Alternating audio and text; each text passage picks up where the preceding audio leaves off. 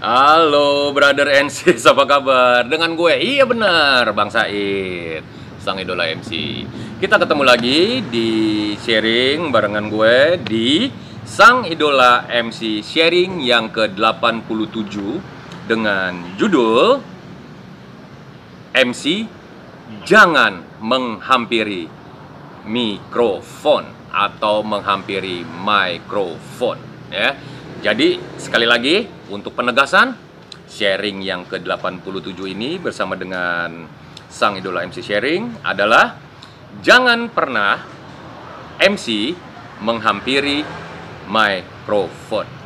Bahasannya begini, yang gampangnya begini aja.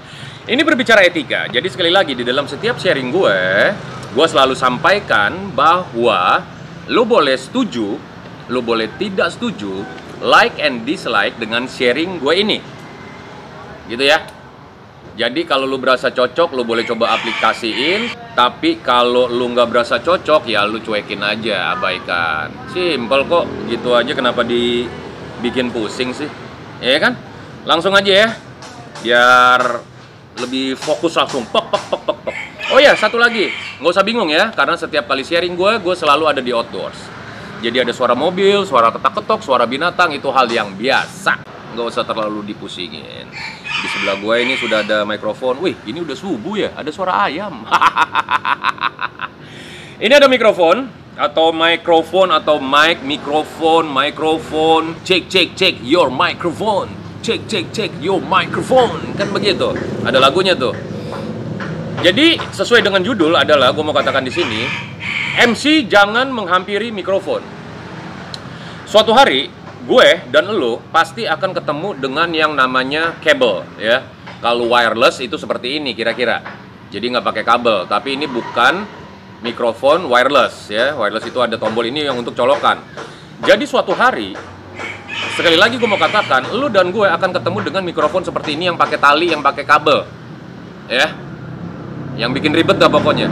Dan di acara itu lu, gue harus berdiri dengan menggunakan stand mic. Ini dia. Kita taruh ya, ini seperti ini. Ada kabelnya dong. Nah, ketika anggap aja gue lagi berdiri, nah ketika gue lagi akan berbicara, gue mau katakan di sini etika berlaku. Ketika berbicara etika, artinya, wih ada laler, ada laler ya, tidak jadi masalah. Dia deket mulut gue, gue caplok, kan begitu, nggak jadi masalah. Bang, lu lagi di tempat sampah, bang, wus, sembarangan, masa gue ngasih sharing di tempat sampah ada sampahnya tapi dikit. Gitu ya. Jangan terlalu serius ya kan? Nih jadi konsepnya begini. Anggap aja gue lagi berdiri. Nih kira-kira seperti ini ya. Gue mesti setting mic. Jangan pernah lu langsung halo apa kabar? Jangan pernah. Lu setting dulu. Makanya gue selalu bilangin ke lu cek sharing-sharing gue sebelumnya. Datang itu jangan mepet waktu. Kalau gue datang ke acara selalu dua jam sebelumnya. Two hours before gue sudah ada di lokasi. Untuk apa? Dan dan persiapan buang keringet ya kan pakai minyak wangi basahin rambut pokoknya biar mantep. Sekalian baca suasana itu intermezzo. Lu coba cari di sharing-sharing gue yang sebelumnya. Jadi begini sebelum acara mulai lu naik ke panggung jajal-jajalin dulu dipas-pasin. Nih mic-nya pasnya semana ke gue. Naik ini lu puter-puter nih ini lu puter-puter. Boleh. Stand mic itu bukannya udah mati permanen. Bukan bukan fix ya. Tapi ini fleksibel ini bisa maju mundur. Nih lihat lihat lihat lihat. Pakai ini dan pabrik itu bikin ini semua untuk nyeting. Lu mau tinggiin lu puter ini lu tinggiin. Gitu ya oke? okay? Gue mau katakan ketika acara sedang mulai, ketika mic sudah pas, yang benar itu adalah seperti ini.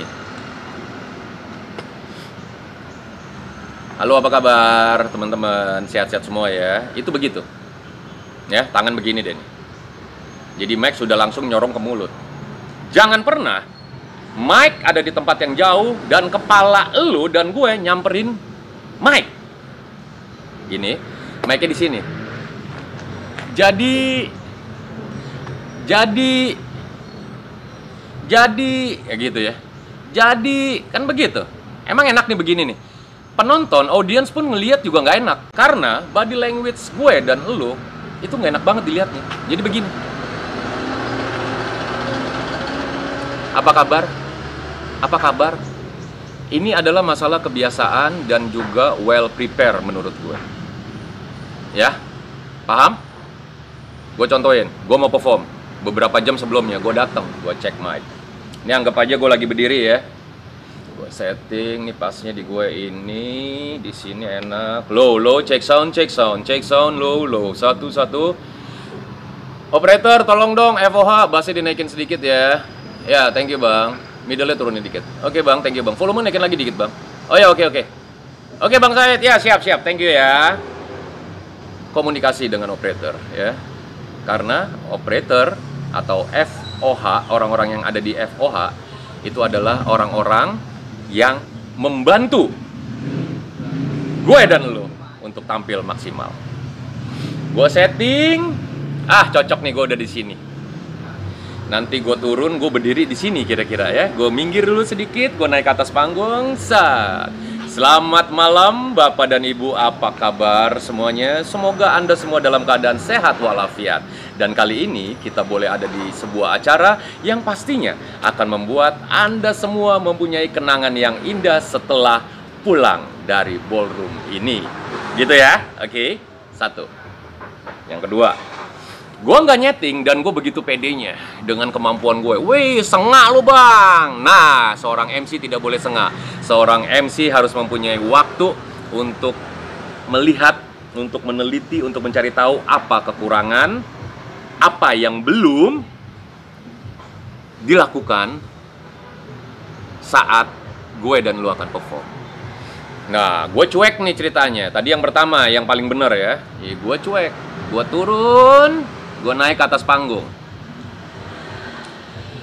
Selamat malam Bapak dan Ibu, apa kabar? Semoga semuanya baik-baik saja ya. Dan saya juga kali ini akan membawakan acara ini. Semoga Bapak dan Ibu boleh terkesan dengan acara ini Karena acara ini akan banyak memberikan sebuah hiburan Dan juga komplimen untuk Anda semua. Balik lagi. Mikrofonnya jauh. Gue gak akan perpanjang bahasan ini. Lu yang telah sendiri lu suka dengan kepala lu atau badan lu nyamperin mic atau dengan versi gue yang pertama. Di sini gue tidak perlu nyamperin mic dan gue akan langsung ready bicara akan terkesan lebih profesional dan akan terkesan lebih mengerti serta menguasai audience, menguasai acara. Ya, gue pilih yang ini. Sekali lagi, di awal tadi gue udah bilang,